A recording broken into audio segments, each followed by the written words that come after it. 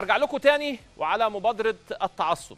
وهعرض لكم شوية فيديوهات من الندوة اللي حضرتها مع الأستاذ كرم جبر والمجموعة اللي كانت موجودة والأستاذ أسامة أبو زيد ونظموا الحقيقة ندوة أكثر من رائعة في حضور السيد وزير الشباب والرياضة وعدد كبير من الإعلاميين الكبار الدكتور كمال درويش كابتن حازم إمام الأستاذ دندراوي الهواري الأستاذ أحمد موسى ناس كتير جدا جدا جدا يعني اللي بشوفه قدامي بقوله والحقيقة الهيئة الوطنية للإعلام كان ليها دور كبير أستاذ نشأة الديهي واتشرفت الحقيقة إن أنا يعني ليا دور في إدارة هذه الندوة. ناس كتيرة جدا بتتكلم على الندوة وعلى مضمونها.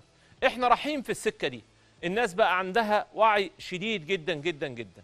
مجهود رائع رائع رائع من من الأستاذ كرم ومن الأستاذ أسامة أبو زيد ومن المجموعة اللي موجودة كلها. الأستاذ صلاح منتصر موجود قدامنا أهو على الشاشة. قامه كبيرة جدا جدا جدا. وأعتقد إن الناس عندها فكر كبير إن مباراة الأهلي والزمالك القادمة تكون بداية وليست نهاية.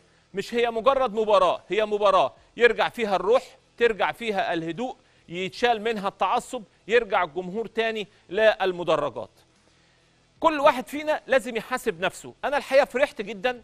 هي الناس استغربت إن كل الإعلاميين طالعين بيقولوا أيوه لازم اللي عنده تعصب يشيله لازم كل واحد لازم فلان يغير طريقته. علان وأكن مفيش حد بيعاني أصلا من التعصب. كلنا في النهاية عندنا أزمات وكلنا عندنا أحيانا أخطاء وكلنا لازم نحاسب نفسنا وكلنا لازم نتغير. مش عايز أقعد أقول أنا وده وده وده وده. كلنا لازم نبدأ بداية جديدة مع بعض.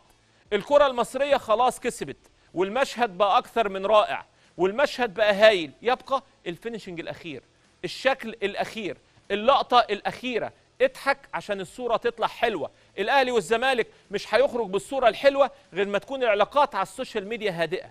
غير ما يكون إن شاء الله بإذن الله في جمهور في المدرجات وتكون ويكون الجمهور موجود بشكل جيد.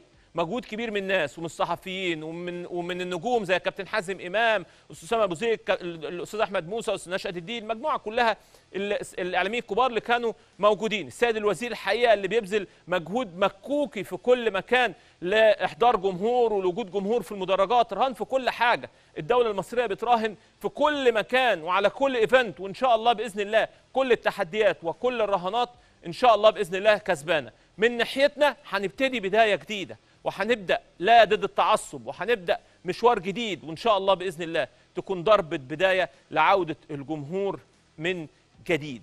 زي ما حلمنا بالنهائي إن هو يكون في مصر هنحلم برضه إنه يخرج بشكل رائع.